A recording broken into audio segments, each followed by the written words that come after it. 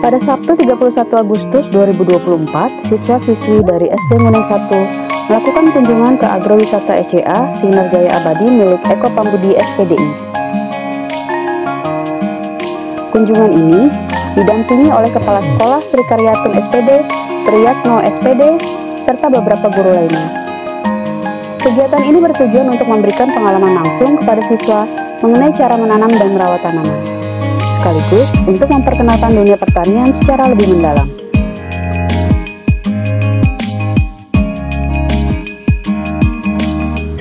Kunjungan ini dilakukan sebagai bagian daripada program edukasi untuk memperluas pengetahuan siswa mengenai pertanian. Dengan melihat dan belajar langsung dari agrowisata yang ada di daerahnya, diharapkan siswa bisa memahami proses dari pembibitan hingga perawatan tanaman. Ini juga merupakan kesempatan bagi siswa untuk melihat bagaimana tanaman yang mereka konsumsi sehari-hari dibudidayakan.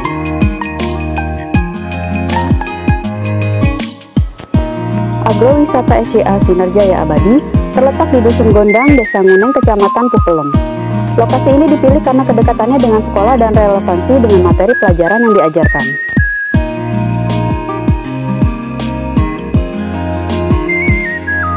Kunjungan ini berlangsung pada hari Sabtu 31 Agustus 2024.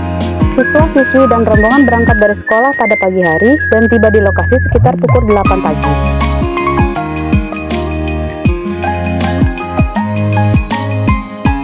Kunjungan ini melibatkan siswa-siswi SD Nguneng 1, Kepala Sekolah Sri Karyatun SPD, Triyatno SPD, serta beberapa guru dari sekolah tersebut. Eko Pambudi SPDI sebagai pemilik agrowisata juga terlibat dalam acara ini dengan memberikan penjelasan dan bimbingan kepada para siswa.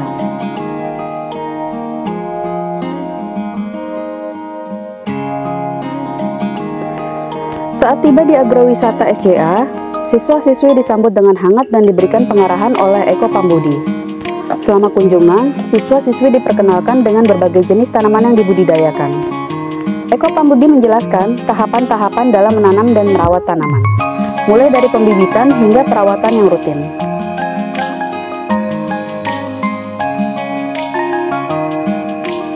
Salah satu guru Bapak Triyatno juga memberikan motivasi kepada siswa dengan mengingatkan pentingnya pengetahuan tentang pertanian. Ia menekankan bahwa keterampilan menanam tidak hanya berguna di lingkungan pertanian, tetapi juga bisa menjadi pengetahuan yang bermanfaat di kehidupan sehari-hari.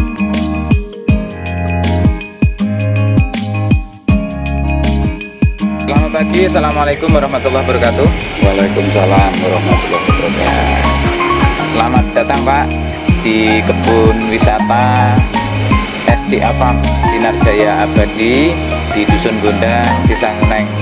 Terima kasih kunjungannya tadi eh, anak-anak uh, sudah dibawa ke sini. Ini uh, saya sendiri bertanya-tanya ini Pak, kok ini dadakan? Seakan-akan tahu digoreng dadakan. Nah, ini intermezzo saja. Nah, itu apa sih tujuan uh, Bapak untuk datang ke sini bahkan membawa anak-anak untuk datang ke kebun jaya ini uh, begini Mas Eko se sebelumnya anak-anak uh, saya bawa ke sini uh, SD kami mendengar kalau di sini ada agrowisata ya. kemudian di sekolah sendiri ada pelajaran yang namanya penguatan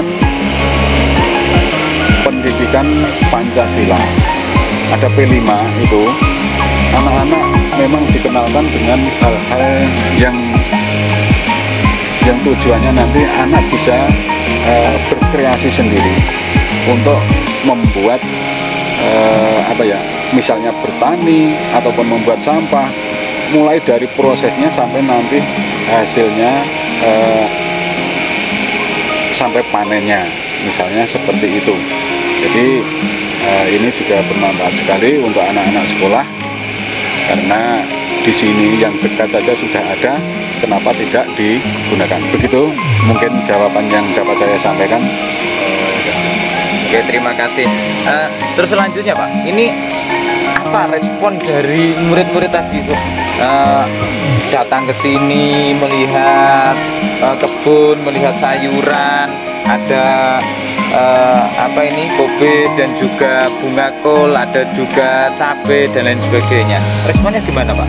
anak-anak kelihatannya eh, begitu merespon dan mungkin nanti anak-anak itu nanti eh, dengan setelah berkunjung ke sini akan bisa mempelajari eh, hasil di sini tadi sudah kelihatannya sudah eh, gembira sekali mungkin ada berpikiran yang ingin mencoba mungkin nanti di rumahnya mungkin juga juga di sekolahnya dengan teman-teman yang lain mudah-mudahan eh, kunjungan ini tadi bisa bermanfaat untuk anak-anak SD Negeri 1 Muneng begitu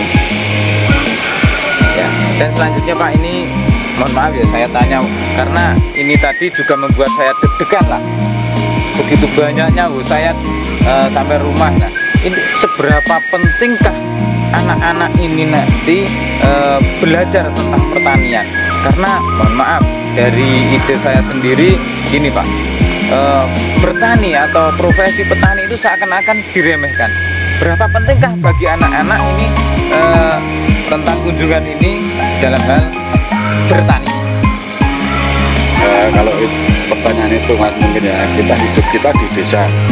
Mungkin ada dari sekian anak itu kalau misalnya pekerjaan petani itu dianggap rendah tapi sebetulnya itu tidak tidak akan kalah dengan meskipun itu ASN atau yang lain. Se- selama eh, anak itu memang aktif dan mau bekerja keras itu bisa nanti untuk menghidupi keluarganya di besar nanti mungkin itu bisa karena di lahan di desa ini mungkin banyak sekali lahan-lahan yang bisa dimanfaatkan untuk pertanian itu jawaban saya terima kasih. Ada satu lagi Pak, ini eh, mungkin eh, yang terakhir. Menurut Bapak, eh, kunjungan ke SDA Farm ini apakah spesial dibanding kunjungan-kunjungan ke eh, lain tempat yang ada di Desa Ngunai?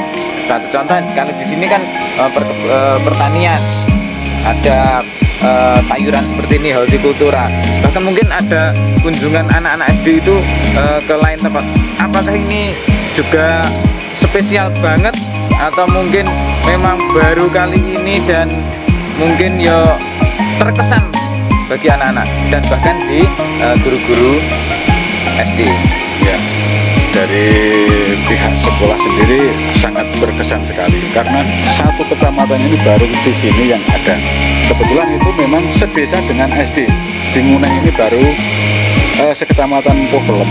Ada satu desa Nguneng dan di tempatnya SD SD apa ini?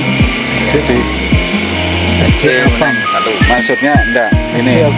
SD. Apam. ya ini kan baru satu kecamatan Ya. eh, yang ada baru di sini. Eh, kemudian siswa-siswa SD1 Muneng itu juga baru kali ini eh, datang ke tempat agrowisata seperti ini. Eh, karena ini yang dekat dan ini adalah yang pertama kali mudah-mudahan dengan adanya ini nanti eh, siswa-siswa meskipun di se- tidak dari sekolah nanti yang dekat bisa ke sini sendiri mungkin karena dekat bisa belajar dari sini Terima kasih Pak atas kunjungannya. Eh, pesan saya untuk SDN Nguneng 1 semoga sukses anak-anak juga mau belajar untuk pertanian negeri ini. Terima kasih.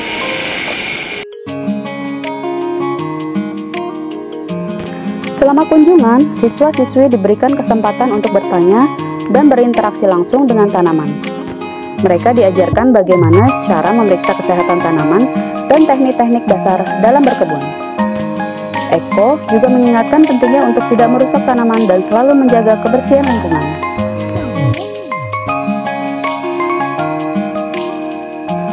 Di akhir kunjungan, siswa-siswi diizinkan untuk berfoto.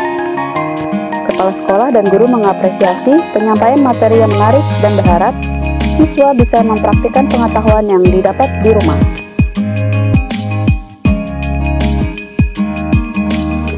Diharapkan bahwa kunjungan ini tidak hanya menambah pengetahuan siswa tentang pertanian, tetapi juga memotivasi mereka untuk lebih menghargai proses produksi pangan.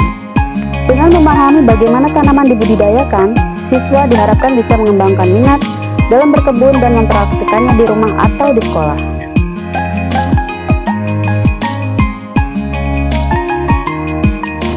Secara keseluruhan, kunjungan ini memberikan pengalaman belajar yang berharga bagi siswa dan memperkuat hubungan antara dunia pendidikan dan dunia nyata. Melalui kegiatan ini, siswa diharapkan dapat mengembangkan keterampilan baru dan mendapatkan inspirasi untuk masa depan mereka. Kunjungan SD Nguneng 1 ke Agrowisata SDA Sinar Jaya Abadi adalah contoh baik dari kolaborasi antar institusi pendidikan dan sektor pertanian.